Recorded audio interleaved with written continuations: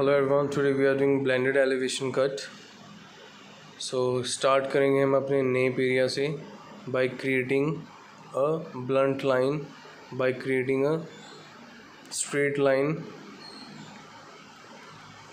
और हम इसी अपनी गाइडलाइन को यूज़ करेंगे throughout our hair cut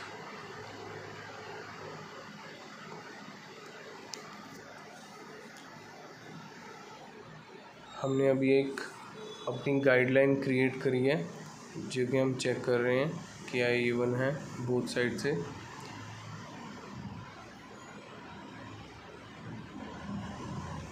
so so, अब जितने भी सेक्शन हैं हमारे इस इस सेक्शन जो ये सेक्शन निकाल रखा है ये सारे 45 डिग्री पर कट होंगे vertical section at 45 degree 45 degree से क्या है कि हमें अपनी बॉटम लेंथ में हल्का लेयरिंग इफ़ेक्ट मिलेगा।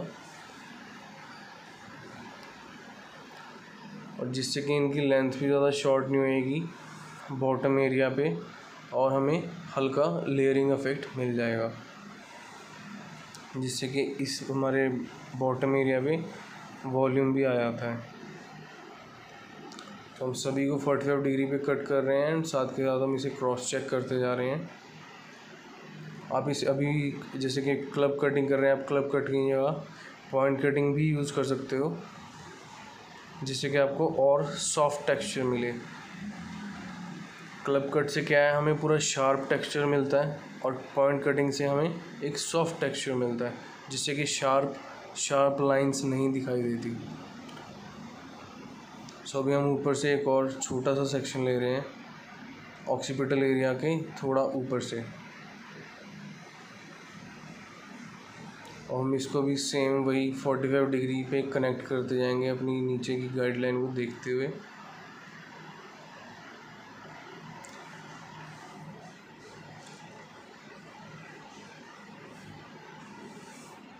एंड वन मोर थिंग जो मैं आपको बताना चाहूँगा कि हॉरिजॉन्टल लेयरिंग में हमें हमारे जो लेयर्स हैं, वो इनवर्ड में जाते हैं और जो हमारे वर्टिकल लेयर्स हैं वो हमेशा आउटवर्ड्स में जाते हैं आउट में।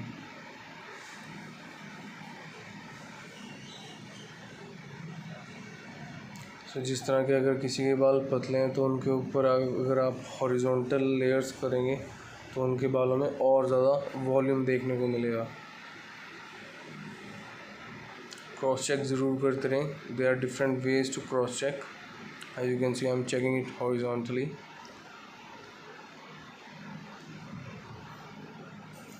अब हमने ऊपर अपने ऑक्सीपिटल एरिया से ऊपर का सेक्शन लिया है, जिसको कि हम हॉरिजॉन्टली ही कट करेंगे। अभी तक हमने वर्टिकल 45 डिग्री किया है, लेकिन अब हम नीचे की गाइडलाइन को देखते हुए हॉरिजॉन्टल एट 90 डिग्री कट करने जा रहे हैं।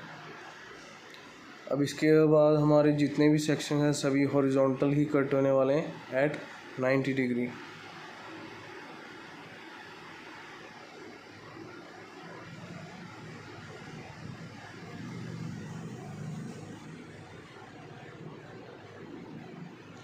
नाइन्टी और sixty degree, you can also call it. Some of the hairs are at 90 and some are at 60 degree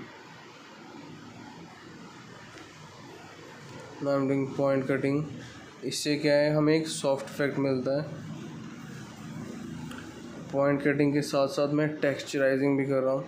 उसको और ज़्यादा सॉफ्ट इफ़ेक्ट देने के लिए. अभी हमने साइड का सेक्शन लिया और बैक साइड के सेक्शन को एज अ गाइडलाइन यूज़ किया अभी मैं पॉइंट कटिंग यूज़ कर रहा हूँ। पॉइंट कटिंग के साथ साथ मैं टेक्सचराइजिंग और नॉचिंग कर रहा हूँ, जिससे कि हमें और ज़्यादा सॉफ्ट इफ़ेक्ट मिले। आपको सभी हेयर्स को 90 डिग्री पे ही कट करते जाना है। See horizontal 90 degree.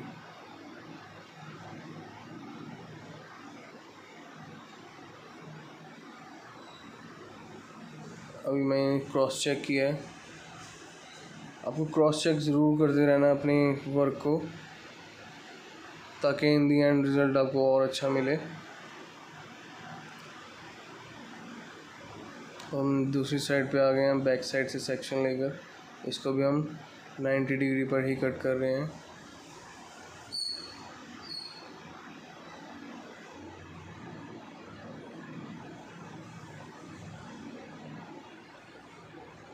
Point cut के साथ साथ मैं टेक्सचराइजिंग भी कर रहा हूँ। इसी में से हम अपनी गाइडलाइन लेकर आगे के सेक्शन को कट करेंगे। So guys, if you want to join my classes, i have a seven days of master class also so अगर आप मास्टर क्लास ज्वाइन करना चाहते हैं तो आप मास्टर क्लास भी ज्वाइन कर सकते हैं। अदरवाइज़ हमारे कोर्स का जो ड्यूरेशन है, वो वन मंथ का है, जिसमें आपकी एवरीडे दो से तीन घंटे की क्लास होएगी। बाकी फिर टॉक अबाउट मास्टर क्लास तो फिर वो क्लास हमारी from morning till the evening रहेगी, जो कि सेवन डेज़ की है।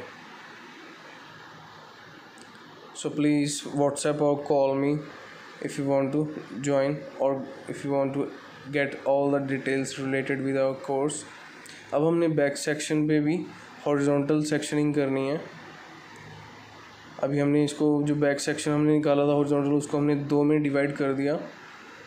और अब हम राइट साइड पे वर्क कर रहे हैं। Through point cutting method use कर रहे हैं हम एंड हमने नीचे से ही एक सेक्शन लेकर अपने ऊपर टॉप एरिया को कट किया है। यहाँ भी हम अपना पॉइंट कट यूज़ कर रहे हैं। और इन दी एंड हम अभी फेस फ्रेमिंग कर रहे हैं। बिकॉज़ जैसे कि हमारे सारे हेयर्स हमारे फेस के हमारे फ्रंट में फॉल करेंगे तो डैट वो अच्छे लगें। तो दैट उसके लिए हम हमेशा फेस फ्रेमिंग यूज़ करते हैं। As you can see so guys if you want to join my का courses do a WhatsApp or call me for more details thank you